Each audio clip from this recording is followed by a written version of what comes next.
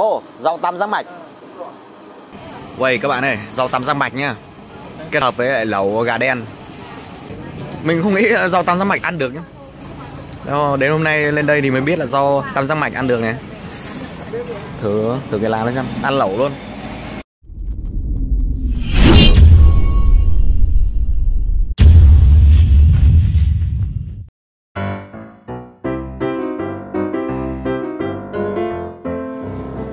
Các bạn của Phương King em này.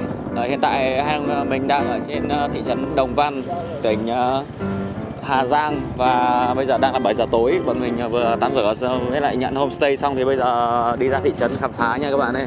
Xem trong thị trấn Hà Giang buổi tối có gì nha. Đây là lần đầu tiên mình lên Hà Giang và thị trấn Đồng Văn. Nghe nói thì uh, buổi tối ở đây cũng rất là vui mình sẽ đưa các bạn vào ờ, trong cái chỗ ờ, phố cổ Đồng Văn và chợ đêm Đồng Văn nha các bạn. Hai địa điểm nổi tiếng nhất trên thị trấn Đồng Văn. Đây là con đường đi vào phố cổ Đồng Văn nha các bạn. À, xe không vô được xe không vô được phải để ở ngoài. Ban chiều hôm nay thì bọn mình vẫn lận lờ được vào nhưng mà tối thì không vô được. Đây các bạn nhìn thấy đoàn khách du lịch rất là đông này. Họ đang hướng tới phố cổ Đồng Văn ô tô nó đỗ ngoài cũng khá là nhiều này. Ở đây ờ, thu hút rất nhiều khách ngoại tỉnh vậy đây toàn biển Hà Nội này, biển 30 này các bạn. Một dàn biển 30 Hà Nội luôn. A few moments later.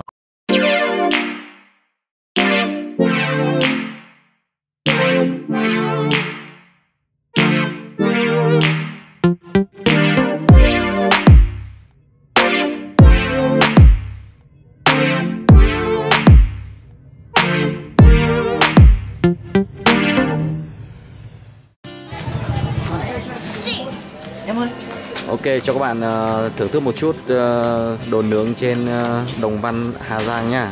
Chúng ta có đây là thịt bò kẹp uh, salad hả? Vâng. Là Bò kẹp nấm này. rồi. Uh, sườn lợn uh, rồi lợn nè. Đây là con tôm đúng không? Tôm. Tôm này nhìn là lạ ghê. tôm. Ờ, tôm, tôm sú. Đây chắc là dạ dày này. Cái chân gà này các bạn. Ta có thêm rất là rất là nhiều ấy các bạn. Các bạn lên đây uh, view tối là sẽ được thưởng thức rất nhiều món này, đồ nướng này. Nhưng mà lúc đây mình vừa order lẩu gà đen này các bạn ạ. Một trong những đặc sản ở trên uh, phố cổ Đồng Văn. Bên cạnh thắng cố và một số món nữa thì chúng ta nhất định phải thử nhá. Mình đã order một uh, nồi lẩu gà đen các bạn ạ. Với giá 300k sẽ thử xem. Ừ. Đây các bạn, đây là cái đường mà rìa bên phố cổ Đồng Văn này, ở bên đằng sau này. Ở bên này là nó là một cái đường ẩm thực luôn này. Tầm này mình đi ăn thì nó cũng rơi vào khoảng tầm 7 giờ hơn tí cho nên là cũng chưa nhộn nhịp cho lắm. Anh chủ sẽ làm cho chúng ta món ờ, lẩu gà đen ngày hôm nay. Ô đây là cháo gì đây anh? Cháo tỏi nhỉ? Khấu tẩu á, Vâng, vâng. cháo ấu tẩu. À, đây ờ, cháo ấu tẩu. Ok. Em nghe nói thì cái cháo này là họ Ờ, mà ăn sáng nhiều hơn đấy chứ nhỉ? Hay là ăn tối? À, Hay là mình ăn bữa nào cũng được ạ? Về về đêm là nhiều. Thể à? sáng vẫn ăn được, không phải là Vâng. không, không, không có tác dụng gì. Vâng. Mình nghĩ là buổi sáng là thường người ta không làm. Vâng. Còn chủ yếu là về đêm là nhiều em ơi. Lần đầu tiên ăn ờ, lẩu gà đen ở trên Đồng Văn. Ở dưới Hà Nội mình cũng chưa ăn đâu. Mình chưa giờ ăn ờ, lẩu gà đen luôn. Không biết là nó có khác gì so với lẩu gà thường không nhá. Rau này lạ này các bạn. Mình ờ, chưa thấy rau này bao giờ này. Kiểu được rau cải và rau này rau này tên là gì bạn? Đậu Hà Lan à? À, đậu Hà Lan đấy nhá các bạn nhé. Còn đây là rau cải này thì chúng ta biết rồi nhá. Còn đây là thịt gà đen này, thịt gà đen à, Đồng Văn nha. bọn gà này là nó chuyên sống ở trên ờ, núi đá đen cho nên da nó màu đen. Chém gió đấy. ok, đây là nồi nước dùng của chúng ta nhá.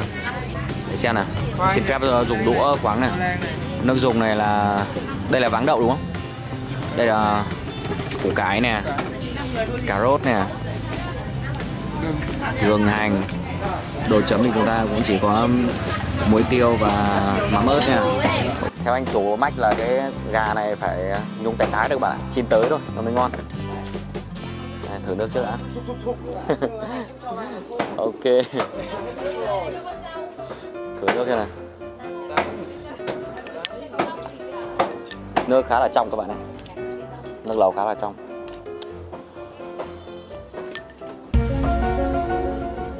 Nó dùng được các bạn rất ngọt. Thử thế nào. À, thử một miếng gà đen ờ, đồng văn nhé các bạn này ô mai chúa. Rất là mềm các bạn mềm và ngọt. À, cho các bạn xem cái cống của con gà nhé con này là lai giữa châu Phi và châu Đại Dương. Nên nó mới có cái chất như này. Đen xì luôn.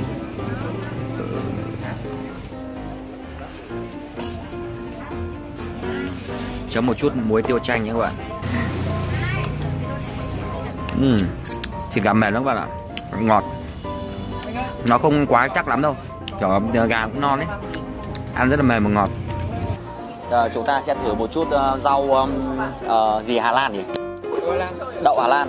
Ngọn đây là ngọn đậu Hà Lan này. Hộ tôi với. Đây các bạn này. Ngọn uh, ờ, ngọn rau đậu Hà Lan này. Mình uh, nói chung mình cũng nghe rồi nhưng mà đây là lần đầu tiên mình ăn cái món này. Lại trong cái đó lại kết hợp với món lẩu. Với là vị là sẽ là? Cho vào đây nha. Đậu Hà Lan ăn được nhỉ? Vị nhỉ? Cái đậu Hà Lan này ăn tái này. Rau này sẽ ăn tái thôi. Chúng ta thử nha. Ừ.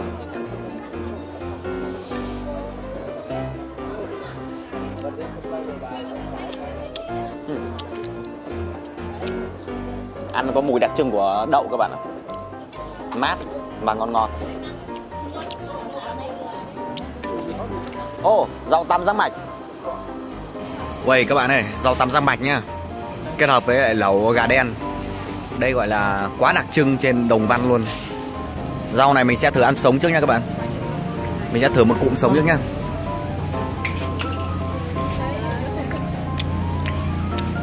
Ừ, vị nó hay nhở?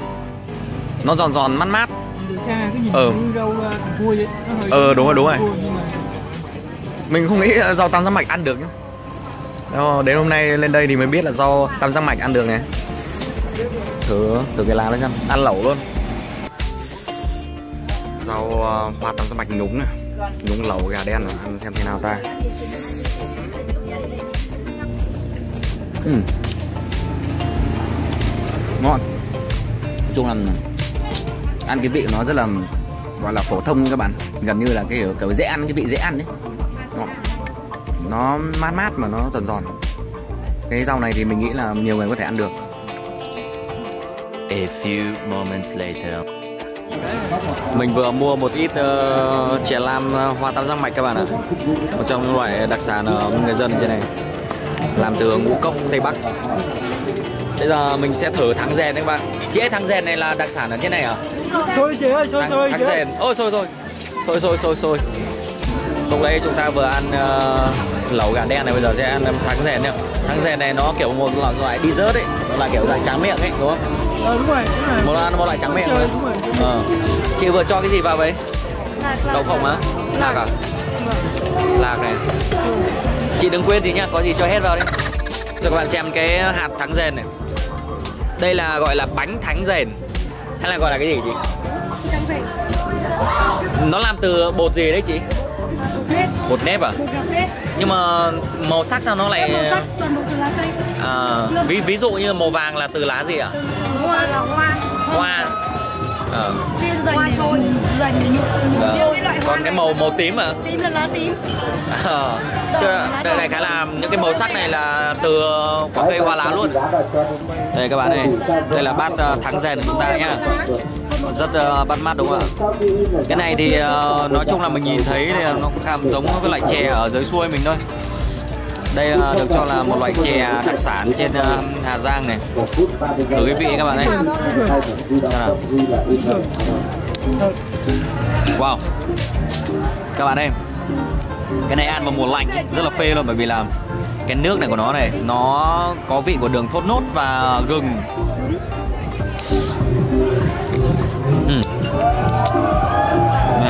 bạn ăn cái bánh này. Ăn bánh um, thắng rèn. Được làm từ um, bột gạo nha các bạn. Còn nếp. Ừ.